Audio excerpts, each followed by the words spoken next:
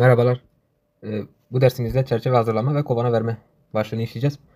Arlarda gelişme faaliyetinin başlamasıyla birlikte pete görme faaliyeti de başlar. Bu dönemde kovana bir önceki yıldan elde mevcut olan kabartılmış petekler verilebilir. Ee, kabartılmış petekler e, önemlidir çünkü eğer kabartılmış petekleriniz yoksa arılar kabartılmış petek yapmaya çalışır ve bunun içine bir sürü e, bal ve polen harcar.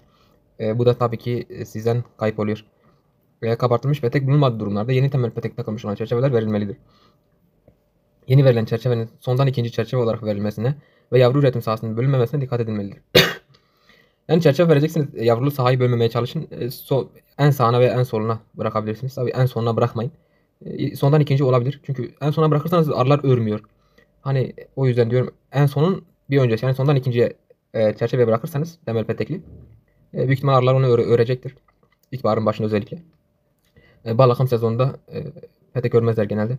O yüzden ilkbaharın e, ilk orta kısımlarında, ilkbaharın orta kısımlarında çok güzel örerler. O zaman e, verebildiğiniz kadar temel petek vermeye çalışın. E, çünkü harika e, örüyorlar o zaman. Temel peteklerde kullanılan mumun sağlıklı ve kalıntısız olmasına özen gösterilmelidir. Tabii temel petek takmak zorunda değilsiniz. Arılar kendisi petek örebilir. Biz buna zaten kara kovan diyoruz. E, e, şöyle tel geçiriyoruz ki e, çünkü yazın sıcak olunca bu teller yumuşuyor.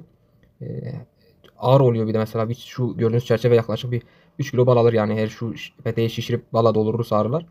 3-4 kilo arası bal gelebilir bundan. E, haliyle sıcak ayda Temmuz Ağustos ayında biz hasat ederiz. E, petekten düşüp bal ha, zayi olabilir. O yüzden bu tellerle aslında onları destekliyoruz. E, şu şekilde takabilirsiniz. E, elle bastırarak yapabilirsiniz. Bunu bir makineyle yapabilirsiniz. E, yumuşak, e, petek yumuşakken telle daha rahat girer. Önce peteği geçiririz. E, şey, önce teli geçiririz. Sonra da peteği yapıştırırız. E, kaç e, sıra tel çekeceğiniz size kalmış. 2 tel de çekebilirsiniz. 4 tel de çekebilirsiniz. Çerçevelere temel petek takmadan önce çerçeve paralel şekilde paslanmaz özellikle olan e, telden 2-3 sıra gergin bir şekilde çekilir.